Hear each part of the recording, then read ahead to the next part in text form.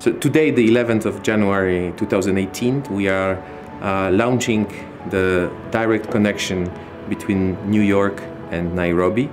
So it means in precise terms that you can go to your travel agent or our website and buy a ticket to take a plane and fly direct flight from New York to Nairobi or from Nairobi to New York. It's a, it's a new opening for us as, a, as an airline as well because it's a, it's a new product. It's going to be our longest flight. Um, it's really like opening a new chapter of uh, our industrial history. We're going to operate the Dreamliner. Um, we're going to fly roughly 14 hours each way.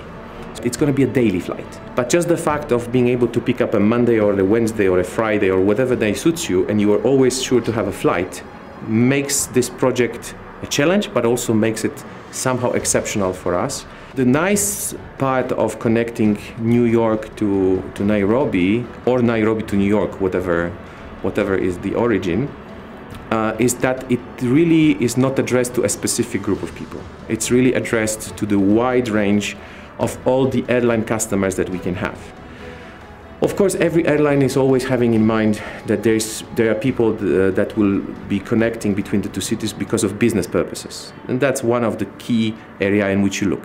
The US market is the number one source market for tourism uh, in our country. Uh, before you take more than 20 hours to fly into Nairobi from the US, now it will be definitely uh, less than that.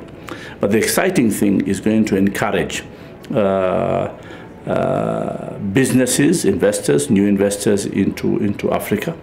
So Kenya will be the gateway for sub-Saharan Africa. Uh, conferences in terms of uh, meetings, and this is our agenda as tourism, as well as uh, then uh, the leisure tourist. So we hope the number that we have here of approximately 100,000 arrivals from the US will be able to be much more than that.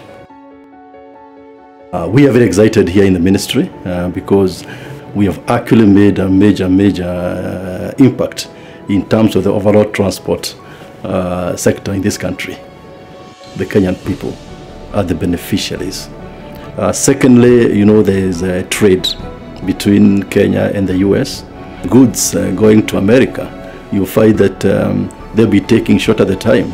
In particular, you know, the AGOA program, which was brought in so many years ago, whereby Kenya is exporting, for example, horticultural products, you know, to the US.